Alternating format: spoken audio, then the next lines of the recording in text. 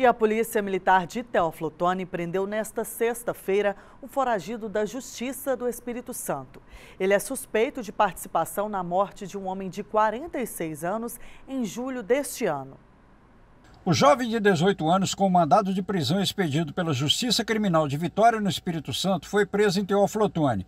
Ele foi levado à delegacia para ficar à disposição das autoridades capixabas. Trata-se de um mandado de prisão, tem dois mandados, um mandado de prisão temporária e um mandado de prisão preventiva. Obviamente, pela gravidade do fato que ocorreu lá em Vitória, no Espírito Santo.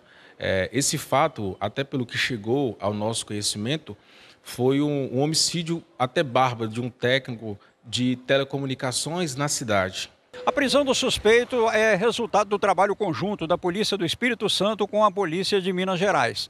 A PM Teoflotone recebeu informações de que ele estava em uma casa no bairro Jardim Iracema e até trabalhava em um salão de beleza. Estava prestes a fugir da cidade. Antes que ele fugisse, ele foi preso.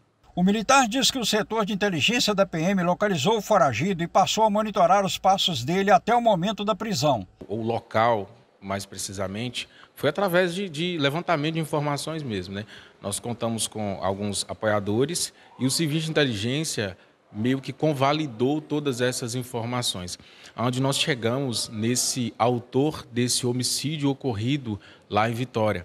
De acordo com a polícia, a mulher do foragido também foi levada à delegacia. A suspeita de que ela tem envolvimento em crimes no Espírito Santo.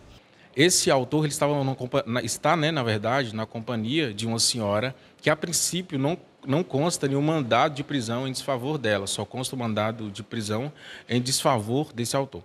Porém, essa senhora também já está sendo investigada é, como participação, por ter, ser partícipe né, deste homicídio ocorrido. A prisão do suspeito foragido foi mais uma ação integrada das polícias na região sudeste do país, segundo o tenente Cordeiro.